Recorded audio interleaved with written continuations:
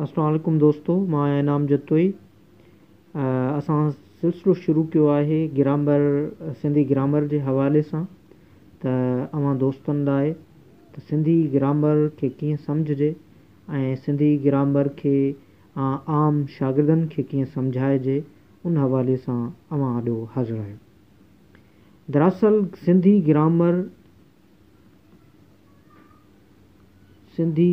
grammar खे व्याग करण बि कोठियो वञे दरअसल व्याकरण जो है व्याकरण लफ़्ज़ वो संस्कृत ॿोलीअ जो लफ़्ज़ है जंहिंजी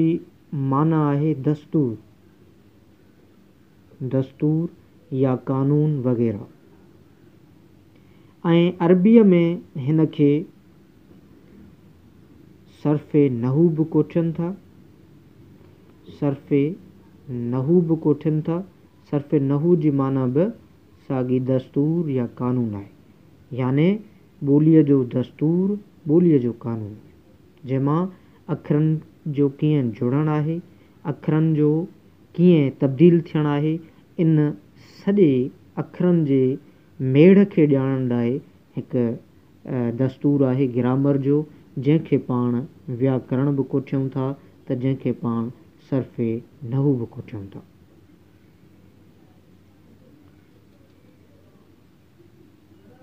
सो उन लाइ ज़रूरी आहे त पहिरियां जेके बुनियादी शयूं आहिनि ग्रामर जूं जीअं ख़ासि करे हर्फ़ इलत आहे घणनि दोस्तनि खे हुन ग्रामर त पढ़ियो हूंदो आहे पर उन्हनि खे हर्फ़ इलत बाबति का ॼाण कान्हे हूंदी जेका ग्रामर जो बुनियादी ऐं पहिरियों जुज़ो सम्झिजे ऐं सम्झणु घुरिजे हर्फ़ उलत जंहिंखे अंग्रेजीअ में वाविल्स चयो वञे थो अंग्रेजीअ में वाविल्स फर्ज़ु कयो ए ई आई ओ यू आहे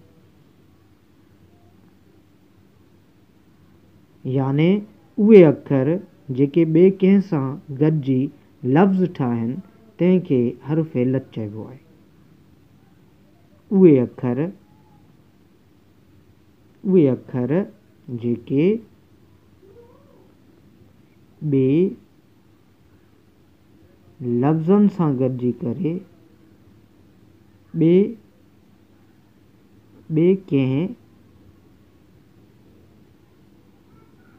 अखर सां गॾिजी करे लफ़्ज़ ठाहिनि तंहिंखे हरफ़े इलत चयो वेंदो आहे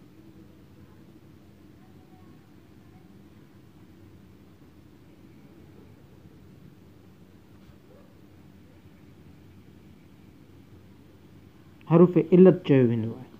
सिंधीअ में हरूफ़ इलत हाणे कहिड़ा आहिनि ऐं उन्हनि मां कीअं लफ़्ज़ जुड़नि था उहो पाण ॾिसूं था फ़र्ज़ु कयो सिंधीअ में जेके हरूफ़ आहिनि उहो अलिफ़ आहे वाव आहे ऐं ये आहे अलिफ़ वाव ये हरूफ़ इलत आहिनि जिन मां लफ़्ज़ ठहनि था फ़र्ज़ु कयो कीअं उचार बठान था फ़र्ज़ क्योंकि है बे प्लस बा